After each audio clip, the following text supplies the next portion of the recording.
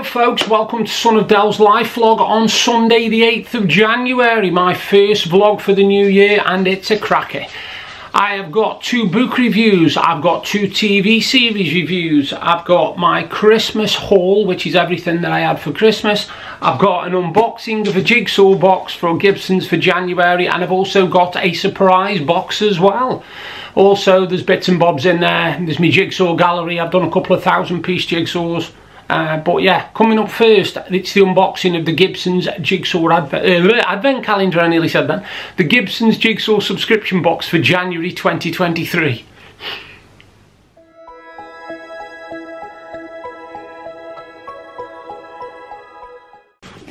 You know, one Gibsons Jigsaw box came the other day. Now I weren't expecting anything special because I've just had a cracking jigsaw uh, with the Christmas one as you know which came with the Christmas decoration as well so that was even better. Now this one has got, it's a cool design actually, I like it. It's called Hackney Bridge or Halfpenny Bridge and as you can see it's quite it's quite a nostalgic one if you look at it. It's quite, um, yeah, it's modern but it's clever because it incorporates everything really. There's dogs on there, there's a cat on there, there's a person in a wheelchair on there, which you don't see very often on jigsaws. And it's called Halfpenny Bridge by Elizabeth Blustin, or Blustin, B-L-U-S-T-I-N, and it's from Gibsons, as you can see, Gibsons. And once again, I reiterate the fact that they are doing their bit for the planet because no jigsaw comes in plastic. There is a minimum amount of packaging, and I think even, even, just let me find this out now, they use the thickest puzzle board available ensuring pieces lock firmly into place and they're made using 100% recycled puzzle board. So a big thumbs up to Gibsons there for that. So Hackney Bridge by Elizabeth Blustin is the Gibsons jigsaw for January 2023.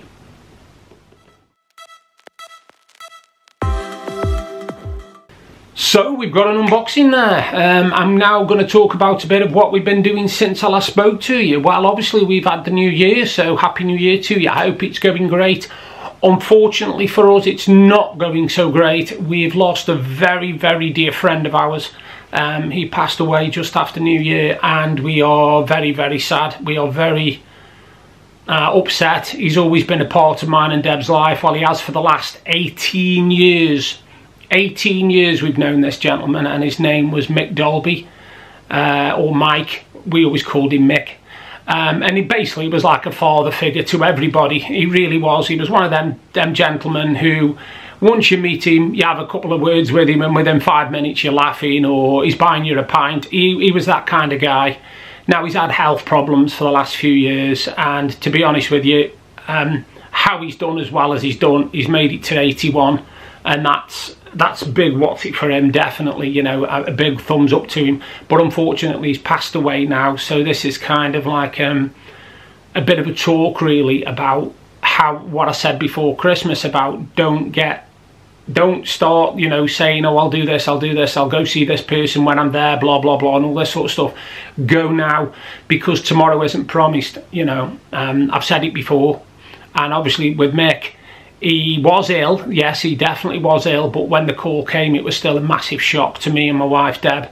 Uh, and even my mother-in-law, who, who hardly knew him, she, she's only met him, what, a handful of times, and it was quite sad, you know, because he was a lovely bloke, he really was. I mean, he's, he's got his faults, everybody had his faults, and there'll be those people who, you know, didn't like him, but to me, he was a real good character, a real gentleman, and he paid me one of the best compliments I've ever had in my life.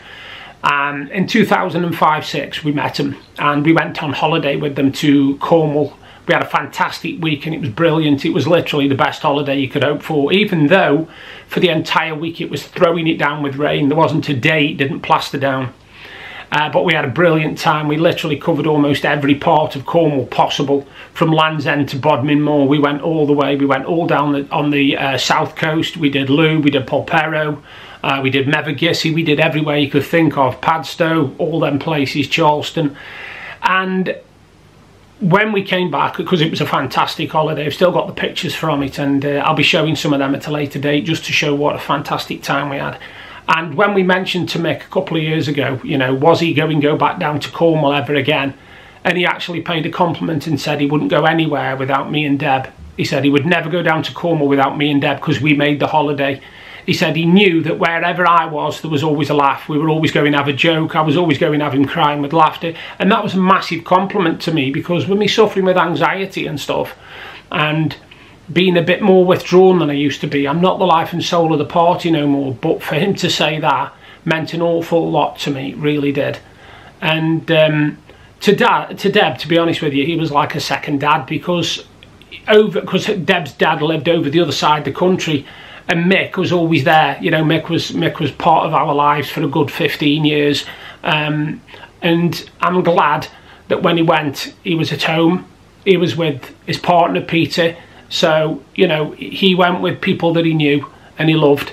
And he's going to be a very, very much missed man. He really is. Um, I mean, my sisters, when I told my sisters what, they, they couldn't believe it. They were literally gobsmacked, you know, because he's always been around me, as he seems like I've known him all my life, but I haven't. I've only known him for 18 years. Uh, but he was just one of those characters. He was lovable, he was funny, he was friendly. I don't remember him having much bad to say about anybody. And the other thing that I love about him was he was always smiling. Nothing got him down. Even if he was having a bad day, he would still smile. He would still laugh when a joke hit him. He would still find things funny. So this is a bit of like um, a bit of a memory thing for Michael Dalby, who passed away. Uh, I, am still, like I say, I'm still coming to terms with this and I know his family are really, really heartbroken. His uh, son Tony and his uh, son's wife, Michelle, and also um, Mick's ex-wife, which is Janet Dalby, which is obviously Tony's mum. Um, they're all in pieces, they're all in bits. Nobody can get their head around it. So 2023 has not started off a good year at all. Uh, other than that, really, we haven't done much. We went downtown, and as you can see, I've had a new haircut. New year, new hair. Uh, if ever you're in Blackpool or the surrounding areas and you want a good haircut, I can recommend RDS Hairdressing. It's just behind Abingdon Market in Blackpool Town Centre and the guy who owns it is called Mark. Well actually he's not called Mark, he's called something else but we call him Mark, always have done. And the guy who does my hair, Frankie, he is absolutely brilliant. I don't even go in with a style in mind, I'll just say to him, have that, do what you think suits me and he's never let me down yet and the prices are really really good because my wife had her hair chopped quite a lot now she had really long hair she had it chopped washed cut styled everything I had mine washed uh, dried styled cut and all that and all of it in total was only 50 pound and that was in total for two really decent haircuts. And like I said you're, you're offered a cup of coffee and a cup of tea and all that sort of stuff and they're really nice and friendly. You, you can't fail to get on with them. They are that good a company. And they're called RDS Hairdressing. And this isn't a, a paid plug. They don't even know I'm mentioning them but if you ever get a chance and you're in Blackpool and you've got a decent you know you want a decent haircut RDS Hairdressing behind Abingdon Market in that in Blackpool Town Centre there you go Mark mentioned you mate but yeah, like I said, I haven't been doing a lot. We've been watching a bit of TV. I've got a couple of TV reviews coming up in a minute. Now, one is for a series that we watch, well, a series, yeah, a four-part mini-series we watched called Riptide, and that was on Channel 5 over Christmas. And the second one was Christmas Carole. Now, it isn't the Christmas Carol you think. This is Christmas Carole, and on the Carol there's an E at the end and it starred Suranne Jones and it was on on Christmas Eve on Sky Max if I'm not mistaken. So coming up I've got those two reviews.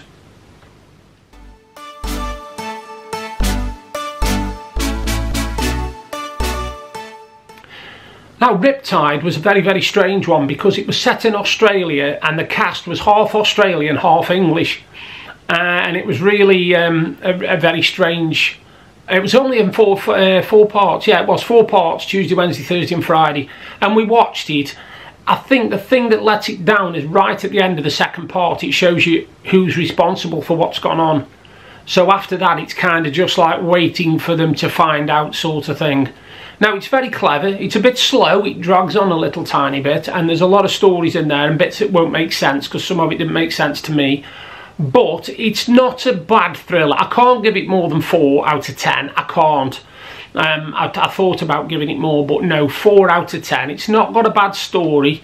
There's a few little holes in it. It's not like a colander, but it's getting there, you know.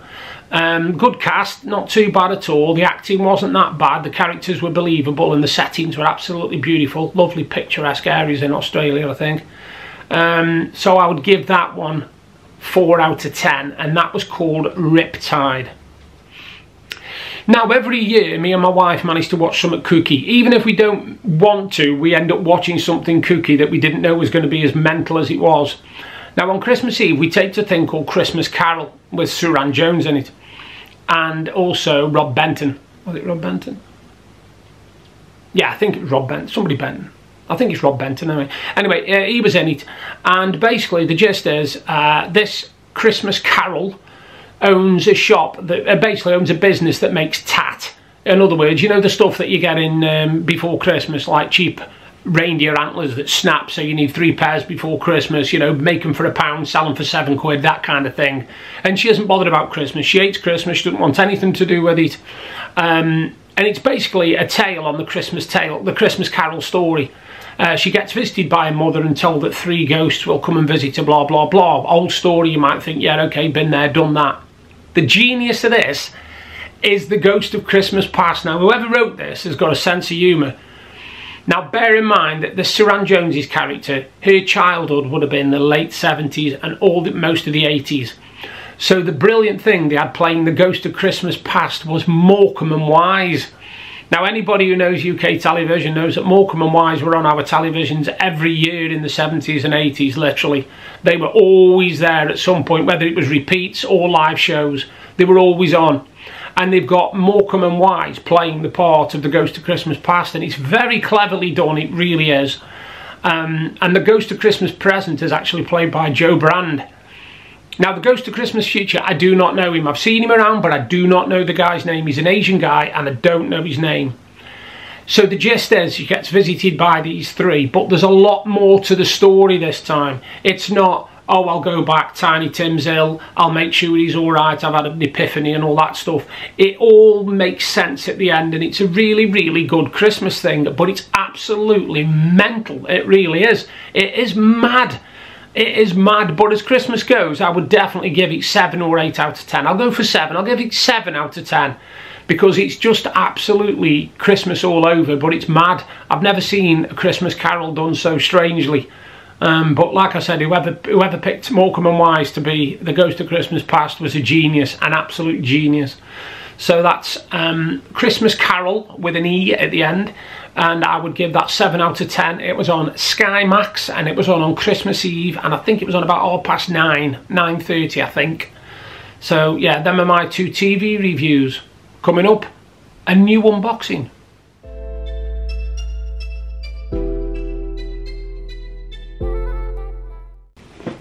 I've got a new unboxing. You haven't? I have. Okay.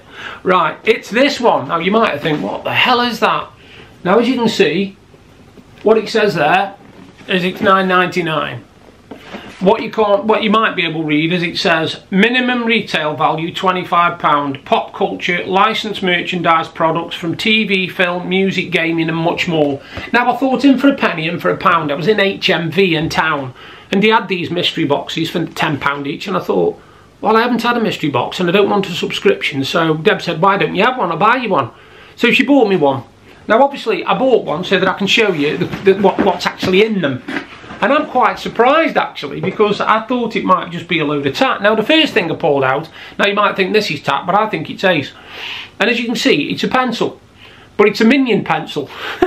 and as you can see it's got a fluffy head. It is a proper pencil. It's not like a geeky one or nothing. It's a proper pencil and it's a minions pencil. So that was the first item that was in the mystery 9.99 box. Now the second item I pulled out, I thought this was cool, even though I won't wear this, I think it's cool for the fans. Um, a game called Call of Duty, and they put this in it. And it's basically, I'll show you anyway on the back, you'll be able to see on the pictures there, them are the things you can use it for. You can use it on your neck, to keep your neck warm, you can use it up to there, so it covers your face and your nose. You can wear it as a headband, or you can wear it further down. It's up to you. And basically, it's a Call of Duty uh, like a neck wrap type thing. And as you can see, Call of Duty, So it's a good franchise. Everybody knows the game, I would have thought. And that was the second item. Now there's five items in total. Now this I love, even though I've never watched the series. Now if you've ever heard of a series called Squid Game, this was in as well. This is actually a Squid Game keychain. And I don't know what that represents, but I think it's one of the characters out of Squid Game, I'm guessing. He's got like a triangle for a face. And it's quite, it's a hard one, no, it's not like a, a floppy soft one. It's really good, hard, durable stuff, that is. Uh, and that was the third item, so it was a Squid Game keychain. Now the fourth item I pulled out was this, and I thought this was great as well. It says, Merry Christmas, you filthy animal, and a Happy New Year. And it's a Home Alone Christmas mug. Well, I hadn't got a Christmas mug. I've got lots and lots of mugs, but I hadn't got a Christmas one. So this is my new Christmas mug for next year. And like I say, it's official merchandise. You've got Home Alone there. You've got Kevin and the Wet Bandits on top. And uh, yeah, I thought that was pretty cool. That was the fourth item. And the fifth item, this is my fave, is a Goonies notepad. Now, it's not an ordinary notepad. Let me just try and get in it because I, I sealed it the other day. Because when you open it, you open it, you take the book out, which said book, which is a really good book. I'll show you the quality as well. Good decent line pages with the Goonies logo at the bottom, as you can see. But what appealed to me, because I'm a really big kid, is it comes with a set of stickers. You get Goonie stickers with it with little alphabets at the bottom there so you can personalise it and you've got scenes from the films that you might be able to focus on, I'm not sure, you might be able to. And obviously the Goonies as well, you know, all that. And that was the fifth item. So as you can see, I got a Goonies notepad. I got a Call of Duty face wrap, neck wrap thing. I got a Home Alone mug. I got a, po a Pokemon, and they said Pokemon then, I don't know what I'm on about. A Minions, Minions pencil. And I also got a Squid Game keyring. And all that for 9.99. Well, let's be honest, you can't really buy much for 9.99 these days. Now, if you're interested, they do them online as well and they do another one for 24.99 and that's a Funko Pop one. There's Funko Pop mystery boxes as well. Um, I might try one of them and let you know what it's like but that is a 9.99 mystery box from HMV and you can buy them online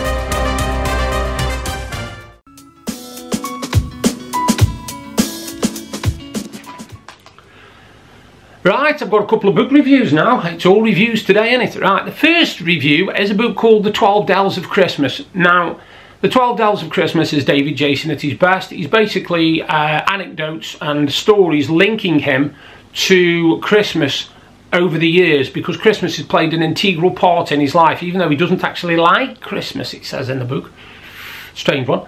Um, but everything's in there from the 50s when he was watching his first, uh, doing his first pantomime and stuff, all the way through to the modern stuff, which is your 2020s, believe it or not, 2020.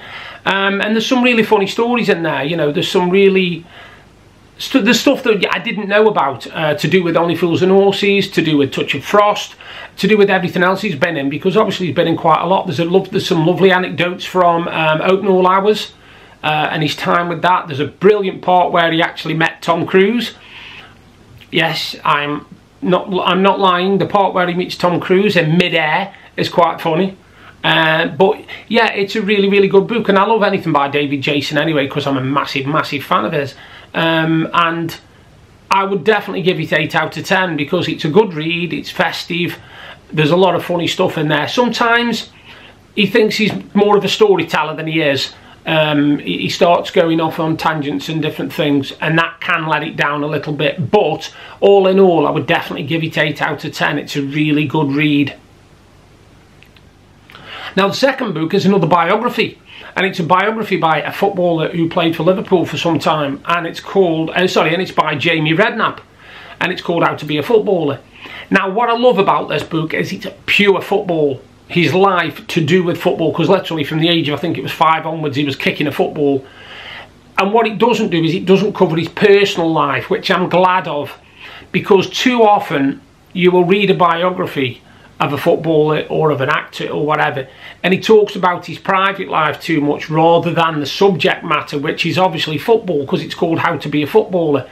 Now I love it because it's got loads and loads of stories in there about Uh, his first days, the hard training, how he settled in at Liverpool or didn't settle in, the tricks that, you know, he had tricks played on him and all sorts of stuff. And it's really, really interesting read.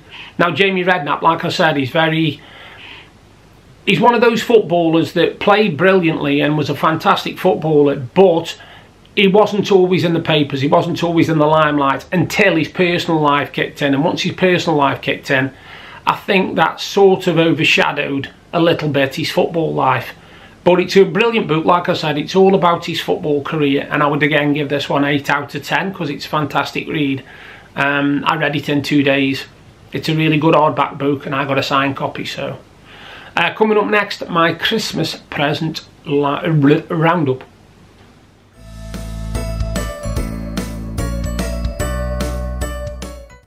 Now, lots of Christmas presents to get through, so I'll try and be as quick as possible. I've had everything. You got you name it.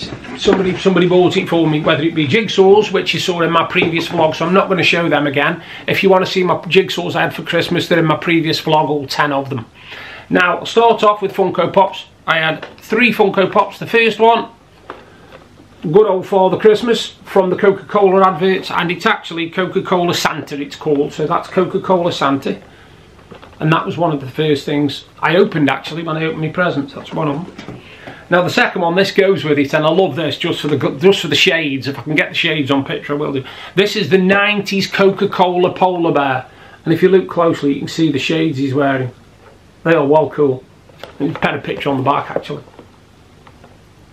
And that's second item. That's another item I had and that's the Coca-Cola one. Now this third one was off my nephew um, Oliver now he knows I'm a big 80s fan and I'm, I'm actually collecting the, uh, the Funko Pops of the uh, singers from the 80s and he managed to get me Roger Taylor from Duran Duran. Um, as you can see, uh, there's, there's all five of them available. I'll be getting the other four to go with it so that I've got the full set. But that's Roger Taylor from Duran Duran.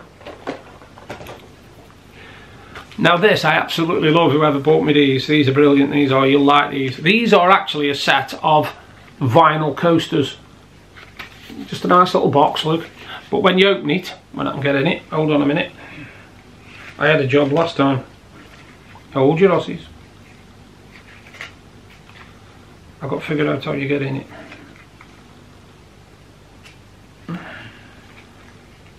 Ah, there you go. Hold on. I'm in.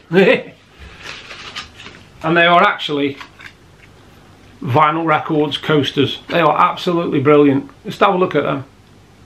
And what I love is on this each record there's titles. Now bear in mind they're for coasters, so they're for your teacups. Rest on Me by the Nostalgics. Protect the Surface. Cover and Protect. No Marks on the Table, that's one of my favourites, No Marks on the Table. Tea Time. And the last one is Too Hot to Handle. And they've all been nicely decorated, you know, they've all got different designs on the front of them, as you can see. One, two, three, that's not easy to do. Four, five, and last but not least, uh, uh, uh, six. So they're all nice, nice little box set that of coasters. Um, and I love me nostalgic stuff, so that's absolutely perfect for me. I had this off my very, very good friend and the person who lost their father the other day. And it's a brilliant uh, bookmark. As you can see, it's a dragon. Unless you can focus in, will it focus? It might focus, it won't focus. Okay, what about if I do that in front of my head? It kind of focuses. It's a dragon. It's a dragon bookmark and it's metal. It won't bend, it's metal.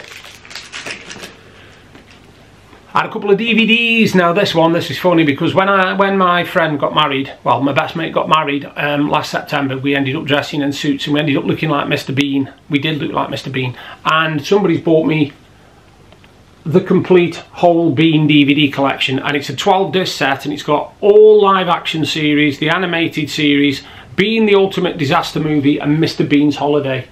And that's in a box set of DVDs. So I've got that to watch. I've got stuff to watch, stuff to eat, stuff to drink. These were brilliant. These, these are off my wife. I've not seen anything like this. Have you ever heard of socks that don't match on purpose?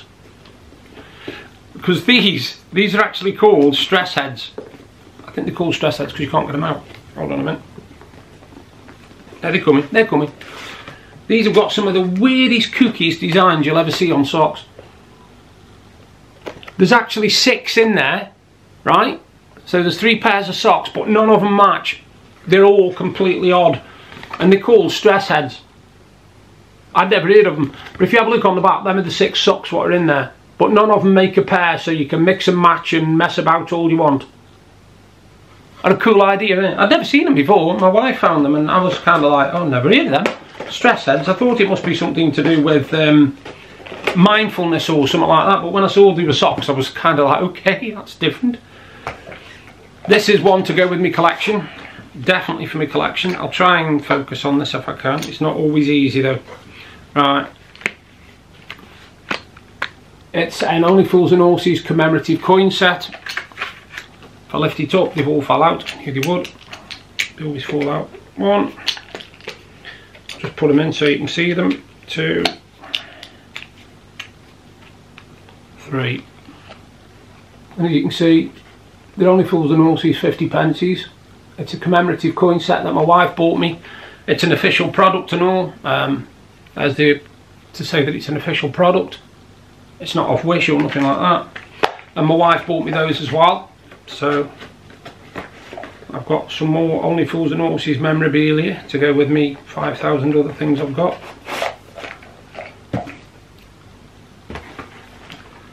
the customary Lynx gift set which I never ever get fed up of receiving because let's be honest we always need deodorant and we always need shower gel so that is something I will never ever get fed up of getting. Lynx set and it's a nice fragrance as well. It's the gold one.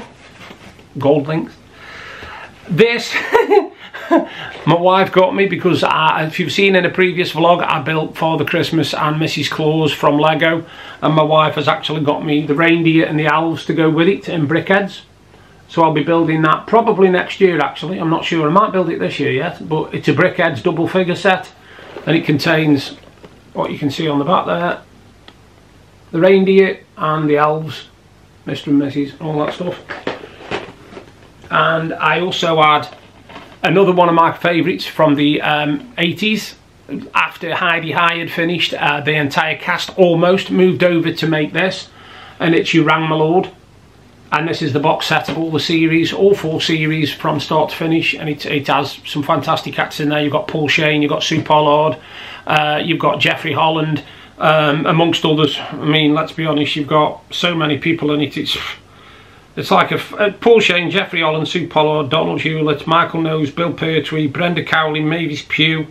You know, there's, there's some right stars in it, and some some of the capers that they get up to is brilliant. I've seen it all, but to own it on box set is brilliant. So I've got You Rang Lord box set.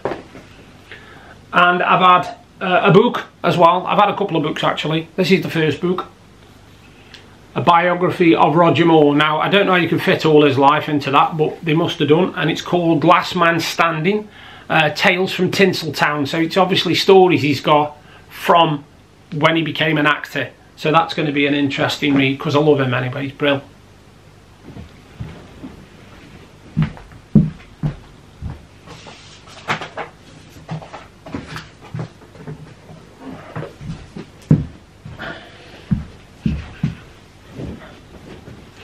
And two things left. Um, last Christmas I had the Lenny Henry, not last Christmas, Christmas before now, Christmas 21, my wife bought me a signed edition of the Lenny Henry first biography, uh, which details his school and his growing up up to when he became famous.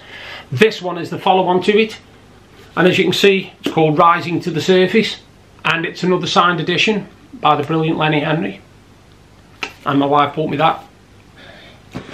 And to show I'm not complete intellectual where it comes to reading. Um, I try to get this every year. My wife tries to get it me every year. Now, bear in mind, you know, if you're not intellectual, you won't be able to read this. You've got to be of a brain. It's the new Viz Annual. Now, Viz basically is the Beano for adults. Let's just say that. Uh, it's full of stupid stories. It doesn't take itself seriously. There's cartoons in there. There's there's ridiculous over-the-top accounts of people's lives that obviously don't exist. There's stupid letters that people write in that obviously they haven't written in. Uh, so yeah, it's basically a good, fun read. It's a nice thick book as well. And my wife always manages to get me that, so that's brilliant. Uh, I've also had, which I'm not going to show you because it's in the other room, I've had a tin in a triangle shape because I didn't know what the hell it was till I opened it of Toblerone.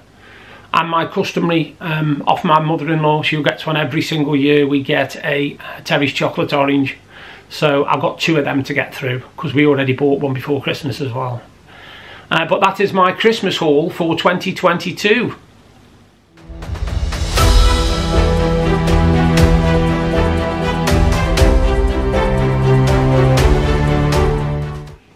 Now, like I said, we haven't been up to a lot in 2023 has not started off brilliant. We're hoping it's going to be a better year. My mother-in-law went home today. My wife has gone back with them um, and then she'll be coming back with my brother-in-law later. Uh, now, we've had a good time. We've had a good time. It's been a nice Christmas, but it's been a quiet Christmas. Now, I've seen quite a lot of posts where people on Facebook have put that they didn't have a brilliant Christmas or they don't really like Christmas much. And some people have actually, you know, started having a go at them. Now, just because I love Christmas, I don't ram it down everybody's throat. I don't go around saying, oh yeah, you should love Christmas, blah, blah, blah. Everybody's got their own reasons. Some people have got reasons for not liking Christmas. Some people haven't. Some people just don't like it. You know, some people like David Jason, he sees it as too commercial. He sees it as too bustling. You know, I mean, you go down to town like we did, a couple of days before Christmas and you can't move. You know, you've tried book a taxi, it's going to take an hour and 20 minutes before it gets to you and you've got loads of shopping. So in that respect, no, I don't like it either. And it has got too commercial. They are, it is all about making money, money, money. And what brought that into real focus was a couple of days after Christmas. In fact, I think it was the 28th. Me and my wife went shopping uh, to the local Tesco and they actually had proper large Easter eggs for sale and it hasn't even it hadn't even hit New Year. That's how sad it was. In fact, I'll tell you when it was. It was the 29th, uh, 30th. It was the Friday before the new before the New Year. It was on the 30th because we had to go up to Tesco Express because we needed a few groceries and they had full Easter eggs on the top shelf which I think, to be honest, is disgusting. I think it's completely wrong. I don't know why we do it. I don't know why we insist on trying to ram everything down everybody's throat every five minutes. You know, people haven't got over Christmas, they haven't got over New Year, they might have things planned for January, and you're advertising something that's four months away. I just think it's I just think it's stupid. You know, they, they need to ease back a little bit and just say, no, hang on, let's start selling them from the start of February. Because from the start of February, you've still got two months to get your Easter eggs. And, and let's be honest, if you get getting Easter eggs, you don't need two months, do you? You don't need two months to get your Easter eggs. You just go out and buy them. So I think really they should only sell them from February onwards. Um, yeah, okay, Valentine's Day stuff, I can understand that because it's beginning of February. And by the time the New Year's finished, it's only one uh, five weeks to go. So I can understand that. I can understand them selling Valentine's cards, but not Easter eggs. Not Easter eggs, please. No, no, no, no, no. Now, another thing we noticed over Christmas was how rubbish the television was. Um, for the last few days, all we taped was like two programs, and one of them was called The Midwife. Um, I'll do a review of that at some point when we when it's finally finally finished. We're up to season, I think it's 12 now, and, and I watch it because it's informative, it's educational, it's dramatic. Uh, there's sometimes quite a lot of humour in it. I mean, some of the characters in it are absolutely hilarious, and it's a feel-good thing. It's a feel-good thing because there's not enough of them programmes on now. There really isn't. I mean, I was absolutely gutted that Doc Martin had finished because we've watched that for the last. We didn't realise it was 18 years it had been going, and we've watched every series. We've watched the Christmas special, and then we watched a brilliant program uh, about behind the scenes. So that was really the highlight of Christmas. Um, there hasn't been a lot on TV really. I'm quite upset about that. And if you look at the TV guide now and look at the TV for the next couple of three weeks, I tell you what, I, I, can't see anything. I just can't. It's, it's like, right, okay, well, taping Call the Midwife, that's about it, really. There's nothing else there. So mostly all we're going to be doing is we're going to be reading. I'm going to be doing jigsaws, going to be vlogging, maybe a bit of gaming, catch up on some of the TV that me and my wife want to watch that we taped. And obviously that mum, it isn't for mum, it's for us. Um, and I'm reading another book at the moment. I'm about halfway through Kevin Keegan's biography.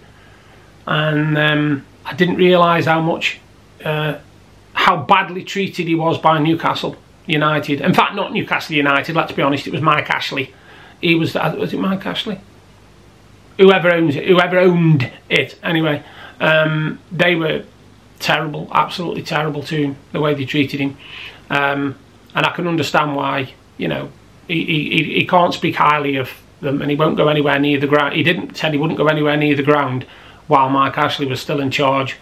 So, you know, now he isn't in charge, then maybe he goes back. I don't know about that. But I'll do a review of that at a later date. It's good so far. It's good so far. Uh, and on that note, I think I'm going to let you disappear. I've talked your uh, ears off. It's a nice long vlog for you because uh, I'll be doing one probably once a week now a once a week vlog, even if it's just a catch up vlog, just to say what we've been up to. Um, but Happy New Year, like I say to everybody. I hope your start to the New Year's a good one. And if it isn't, I hope it improves dramatically for you. Thank you for all your support. Thanks for the Instagrams, the uh, Twitters, the Facebook, and of course the YouTube. All my likes and subscribers. It all means a lot to me. It's what I do it for. You take care. I'll do another vlog soon. Bye for now.